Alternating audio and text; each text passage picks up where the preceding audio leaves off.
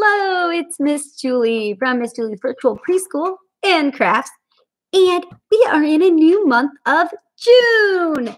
And I'm here to celebrate all the fun days on the calendar in the month of June with you.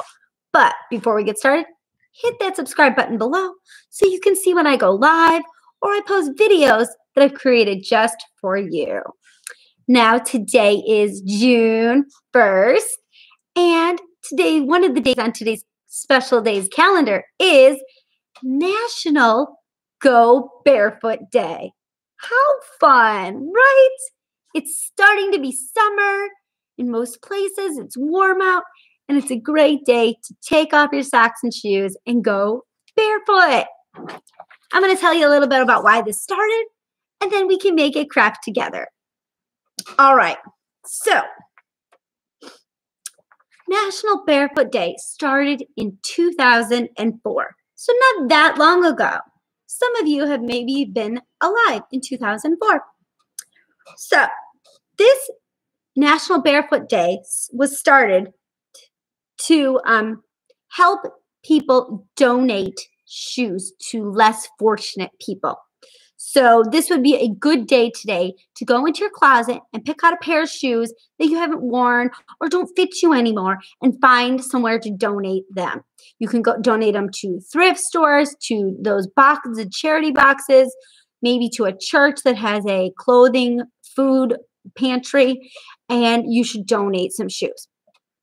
Now, besides being a day to donate shoes, and that goes with being barefoot. It's also good for your health to go barefoot and walk in the dirt and the grass and the natural earth. You soak up the sun, you soak up the minerals of the earth and the dirt, and it's great for your body. Uh, let's see. It says that Go Barefoot Day is observed in many countries around the world these days. And it is important for you to do things that you can do to honor Go Barefoot Day. So you can do both those things. You can go take a walk or go out in your backyard in your bare feet, enjoy the grass and the dirt and the rocks. And then you can also go in your closet and find a pair of shoes to donate.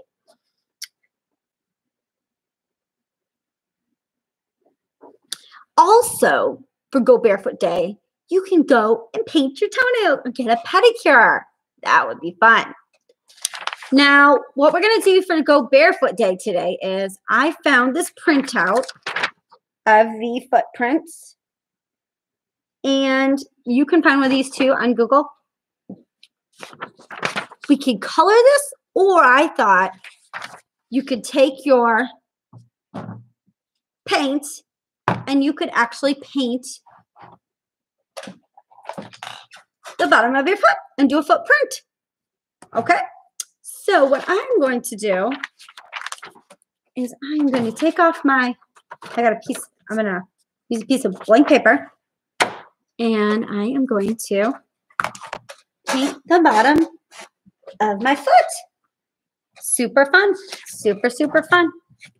So you just dip your paintbrush into the paint. You don't even need a lot. And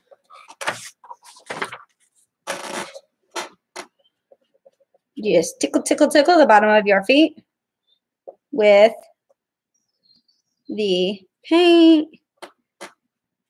You could also trace your foot if you don't like the feeling of paint on your feet. That's an option too. You can trace your foot with a marker or crayon or pencil. That is always an option if you're not a fan of paint.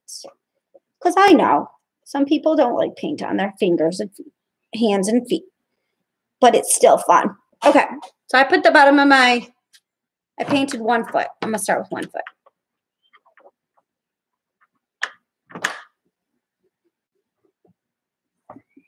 Okay. Got my white paper. And I'm gonna put, I'm gonna press my foot onto the paper.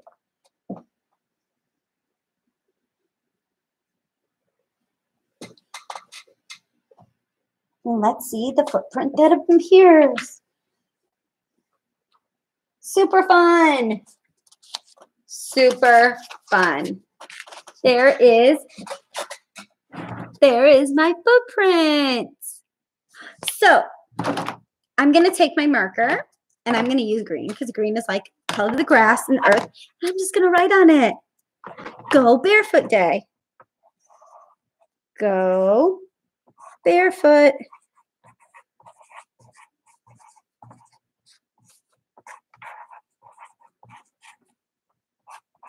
June 1st. All right. So you can hang this up and you can put it up on your summer board, fun activities you've done, and then go around, your yard tag barefoot today. All right, friends, it was great seeing you this morning, and I will see you again tomorrow for another fun day on the calendar from Miss Julie's Virtual Preschool and Crafts. you